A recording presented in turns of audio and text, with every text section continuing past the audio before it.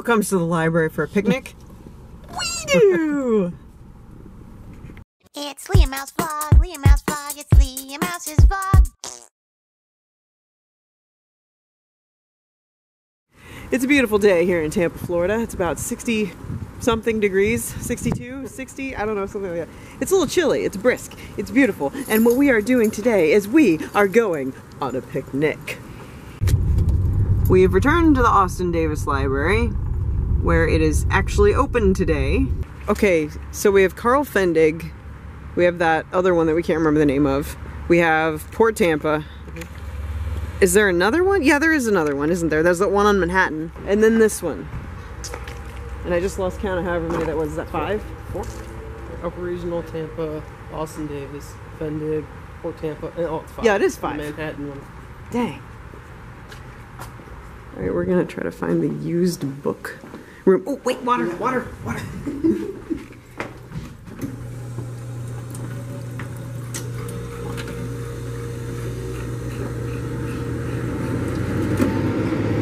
I'm catting my back.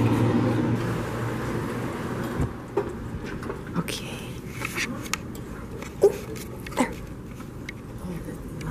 Oh, sweet. Yeah. Yay. The How dog.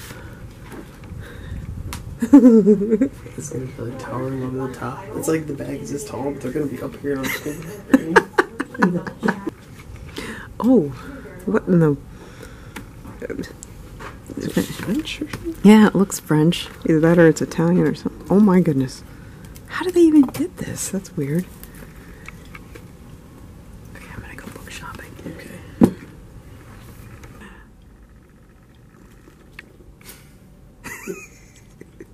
Or we have The Yiddish Policeman's Union by the Pulitzer Prize winning author of The Amazing Adventures of Kavalier and Clay.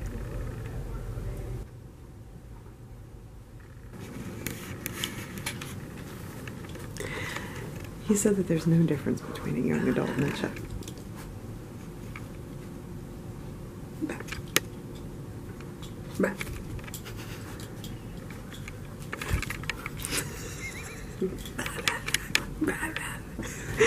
We're doing the boo. We started doing the boo thing. Every time one of us turns away, we go ah, and then if they turn around, we're like, the boo's much cuter when you do.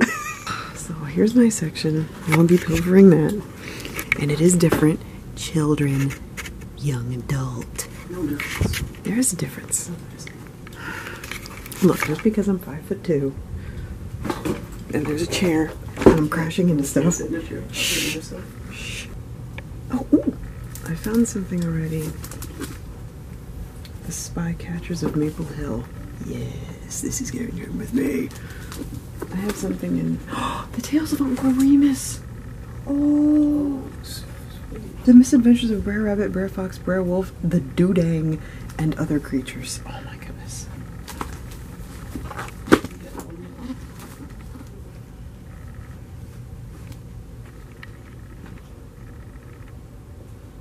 There's this thing I like to lay down. It's called the law.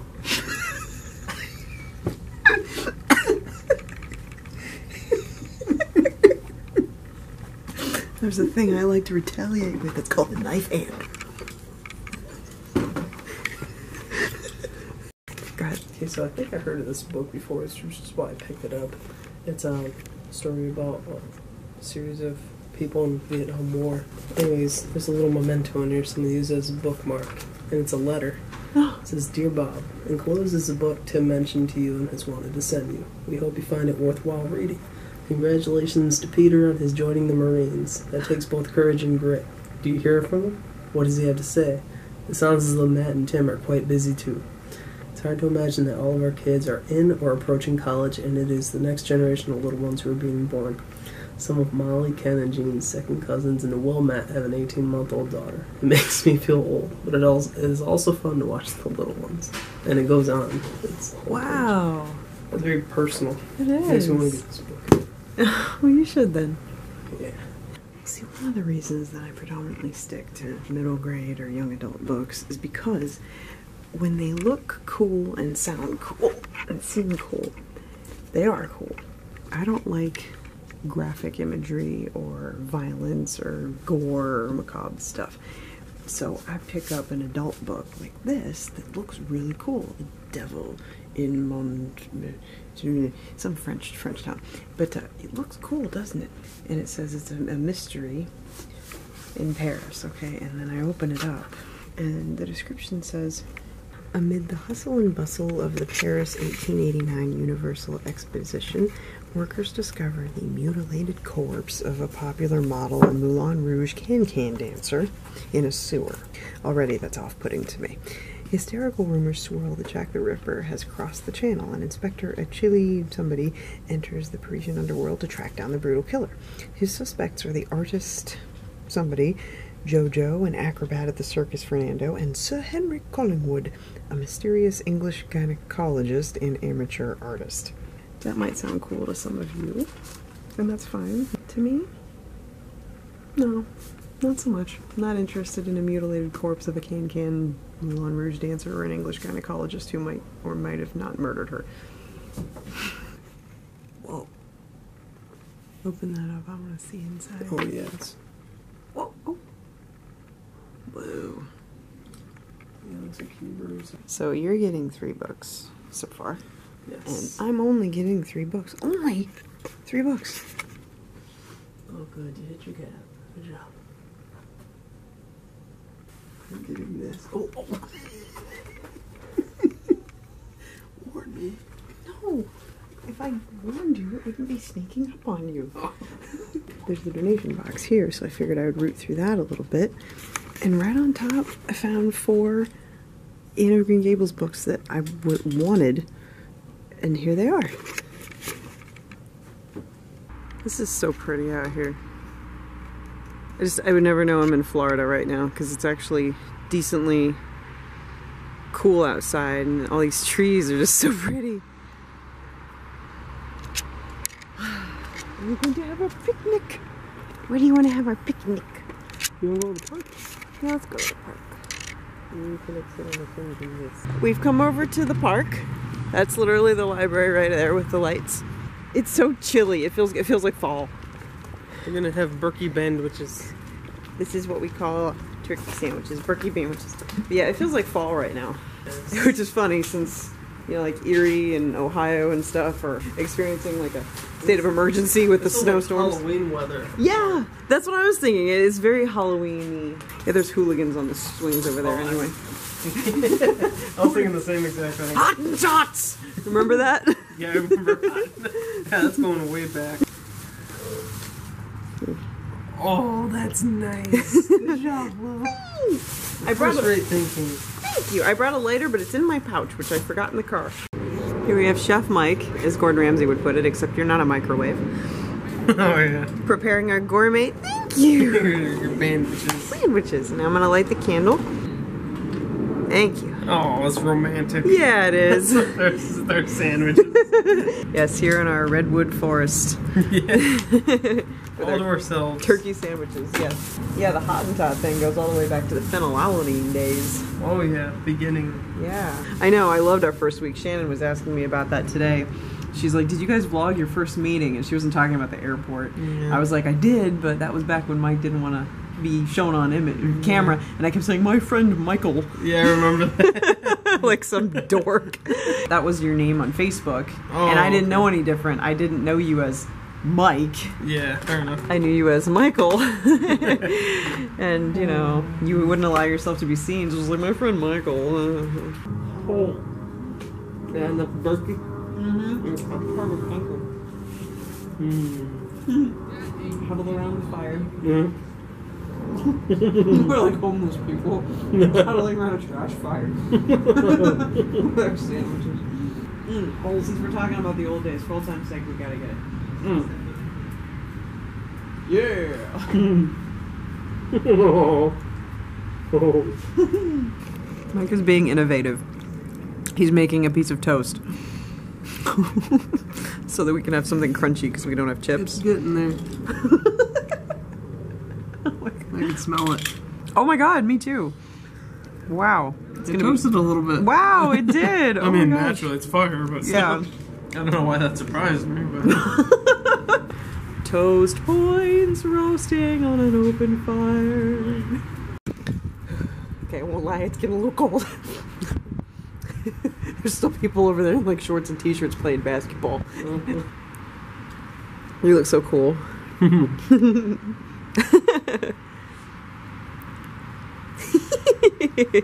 yeah, it's a little chilly. It's nice though. I'm not definitely not complaining. This is good, and considering what the rest of the nation is going through, um, hashtag sorry not sorry.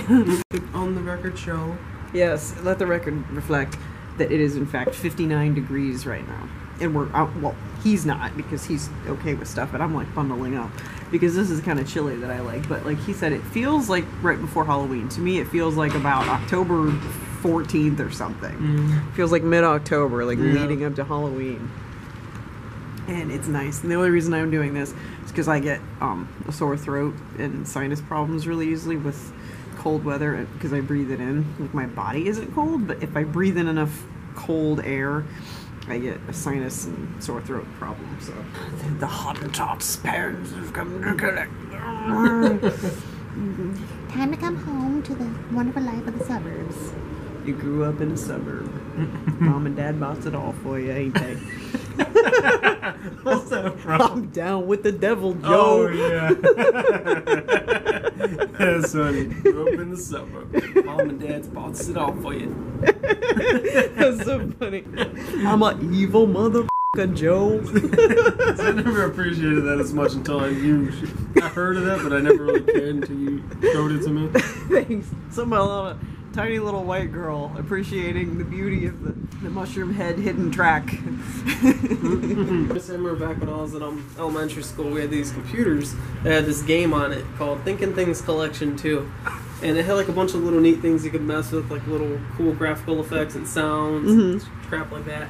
And there was this one sound, there was like a 20 tracks that just looped. And one that, one that always stood out to me was, we know, we know, we know, we know, we know, we, we know, we know, we know, we know, we know, we. And it just did that the whole time. And we were talking about the seance thing. I was like, we chant, and that was Oh. the chant that came into my mind. Oh. We know, we know, we know. I'm toasting bread. That's funny. Yeah, I said we were sitting over here with our candle lit. We got like black hoods up and everything. He's like, yeah, we're burning stuff. He's like, probably thought we were having a seance or some crap. I'll take different vlog angles for a thousand, Alex. There has to be more than a bathroom. And we're finally coming to Twisty Treat. We kept driving past it and seeing it. We were like, we need to go there sometime. We're finally going there. Now is sometime. It's a giant ice cream cone with twinkling lights on top. It's beautiful. Twisty Treat. This place is cool. It is a giant ice cream cone. So this is my Twisty Treat. Coconut on coconut. Yeah, that's how I do it. What'd you get? Strawberry vanilla. Oh, that looks awesome. What? Oh, frick. Oh. Oh my god. Just like in Canada. I know! That took me to Canada with that bite. I'm in Canada. Right now. Where I am. Yeah, the weather seems to match it. It does. And the fact that we've never come here before, it's like new. Mm-hmm. So it's not. It always seems like it doesn't feel like Tampa to me. I know. Oh, so wonderful. Thank you. Mmm. This has been a glorious day. Yeah. Hmm. And on that note, I will go ahead and say. How.